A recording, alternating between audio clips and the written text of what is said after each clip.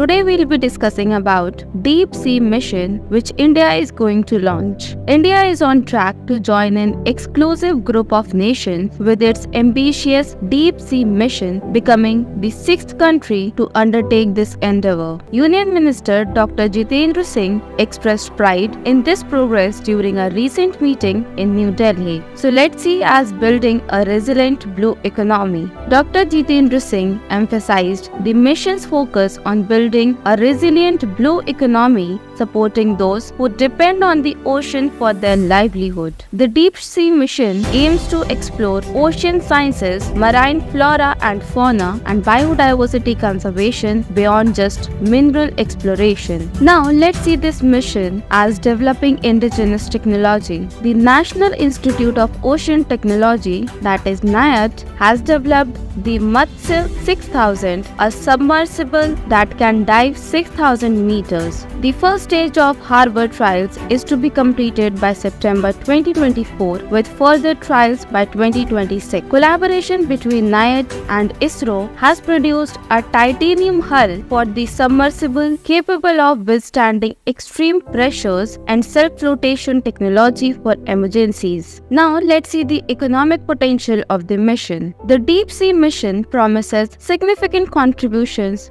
to India's economy by exploring deep sea flora, fauna, and rare earth metals. The mission aims to reduce dependence on foreign technology by developing indigenous capabilities. Secretary Dr. M. Ravichandran and other senior officials participated in the meeting, highlighting the collaborative effort required. The mission, with a projected 4 hour descent time for the submersible, aims to advance oceanic exploration, scientific research, and economic opportunities. Now let's see what is Matsya 6000. Indigenously built, Matsya 6000 is a manned submersible vehicle developed by NIOT under the Samudrayaan mission to explore deep sea mineral resources. It has a 12-hour operational period and can remain submerged for up to 96 hours in emergencies. Launch is expected soon, making India one of the six countries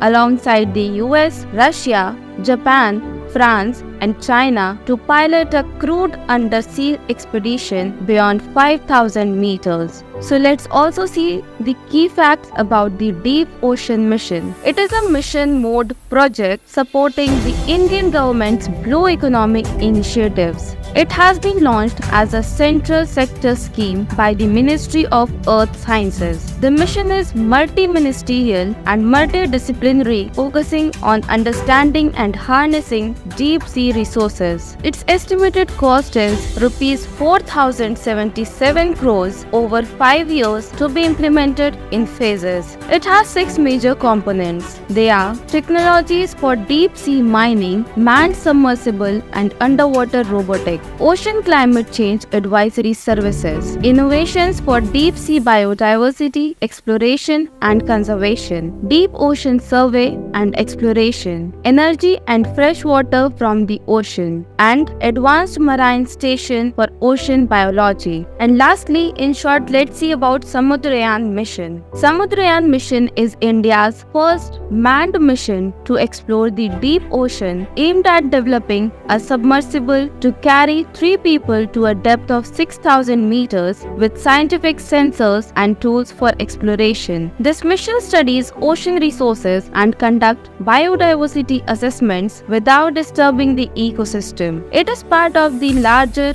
Deep Ocean mission supporting the government's blue economic policy and the nodal ministry is the Ministry of Earth Sciences. If you like the information, please like, share and subscribe Neti Educational Academy.